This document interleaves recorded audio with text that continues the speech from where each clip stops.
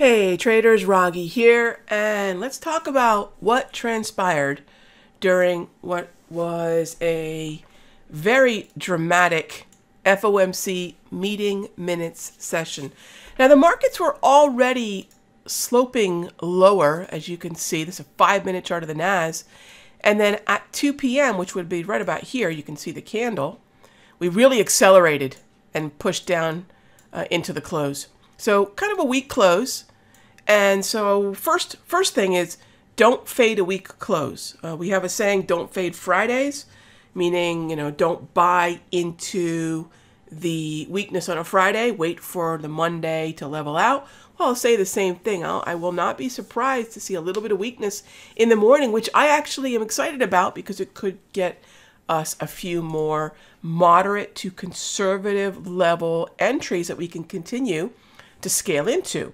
But the topic for our video here today is we know that today was going to be a volatile day, up or down, don't know. But what we have preceding the FOMC, and you can see it right here, is an overbought zone. So let's get specific about this zone, right? When do we start reaching the 80 level? Right in here, okay? When did we start coming down out of the 80 level? Right there. You can see how the way that this slow stochastic works is a slow stochastic. I talked about the details of it. It's an 80 overbought, 20 oversold. That's that's that's default. Okay. So it all uses the 80 in here. Um, I don't use these. You don't have to put the upper and middle lines in there if you don't have to. Um, but it is nice to see the middle of the zone. Uh, but anyway, 80-20. Uh, and then the settings are, here you go, 21 uh, percentage K, 3 percentage D. And if you have any of these other settings, the smoothing, here, here are the settings, right? Really easy. It's the same stochastic setting I have used for 30 years. It's an old school tool. Now, it is a slow stochastic. I do not use a regular stochastic. Um, that might be the little unusual part of this because a lot of folks use regulars. I had never have. I like the slower. I want this thing to slow down. I want this to give me fewer twitchy. We don't want a twitchy indicator, right? So we want it to slow down, and that's the best way that I've known to do it. Okay, so take a look. It, I don't want to short while this is still on the upslope into that zone, which is why I like the color coding. Uh, look, I started getting cataracts about four years ago. I, I have very young onset cataracts. I mention that because I know a lot of folks have vision issues like myself. And so having the color coding, having some nice clear thick lines really does help. So until this goes red, I don't want to think about the shorts. And you can see where it went red. Let's drop another vertical line right in here. Okay, so that's what you're remembering. Hey, this is a choppy market. Does the stochastic know it's a choppy market? No, the stochastic does not know it's a choppy market. That is the job of the lower row of the JT multi telling me that we're in chop and have been in chop since the beginning of December. Since we're in chop, this is actually pretty close to being oversold and it would send us higher right there in the beginning of December. And this is where we become overbought. So I'm not saying this suggests the scale of the move lower, but we shouldn't be surprised.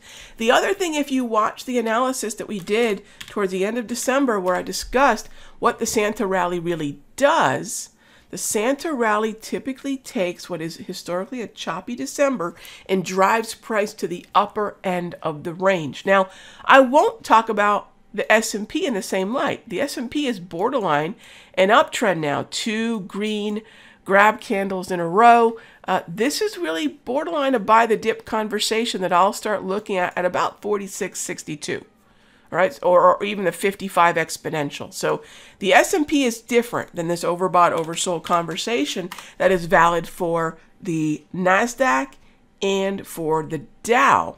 All right let's talk about the dow. We are looking at a choppy market. It has been choppy for some time right? We want to see price action get, like I like to see price action get above the 80. So I want to visibly see these lines above 80, which you can see happen right in here. That's the first step. Let's just get this thing ab above 80. All right. Okay. Now these are still green. So this is green, green, green until right in here it starts to go red. Again, starts to go red. Now we know it's starting to chip away at that bullish momentum. So here, exhausting. Again, here, exhausting. Now, when do you really start to see the acceleration? Usually when price gets back down through the 80. Okay, that's usually what you're waiting for. Take a look back in here, back down through the 80. It went red right in here, right? That's a really good place to start thinking about, hey, this is exhaustive. It didn't go much higher, did it? And then once it broke down through the 80, right? Now we're talking. So that's what I'm talking about. Is it is it magic? No. It's it's like reading the environment, but this is the last step. First step is got to be the structure. Because is this even valid in a double green? No way. A stochastic doesn't know that a market's trending or not trending. It only has the algorithm that it has and it crunches the numbers. We talked about this when I did the uh, crude oil update, uh, uh if you want to check that out. So, same idea here. I'd like to see this get down through 80. Now, if you recall, when I talked about the seasonal factors for January, I said, look, there's usually a little divot and then the market starts getting bullish again. What I'd like to see in something like the NASDAQ, and why is the NAS so important? The number one weighted sector is the XLK. This is the number one sector in the NASDAQ. It's the number one sector in the S&P. It's the number two sector in the Dow. This XLK is hugely important, all right? And the NASDAQ is weighted really and will move very similarly to the XLK. So if you want to look at the XLK, I would look at that too. What I'd like to see is this get down to this Darvas support, and it's going to be a Darvas support area that takes us around this area to this area. See, it's a zone. All right. I'd also like to simultaneously see, it's not necessary, but it would be great confirmation that we start to close in on this 20 area on the stoch. So I've got a price-based support level, and then I confirm that with the secret squiggle. No secret squiggle, that's my little cute name for indicators, leads price. None of them. If it needs price, it cannot lead price. But this is what we're looking at. So I don't look at this as something that should be surprising. FOMC meeting minutes, oversold market. Uh, I think the S&P is still the relative outperformer because of healthcare and financials coming on very strong. And I think we need to all keep an eye on the XLK for uh, support. It's a double green environment. I'd love to see maybe, even if we, look at this volume ledge right in here. I'd love to see a minor low in this area. And then we'll look for buys in XLK as well. XLK could very well be how all three indices are signaled to start moving higher again.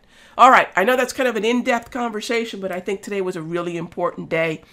Don't get bearish yet. It's just chop, moving down to what could be bullish opportunities for us.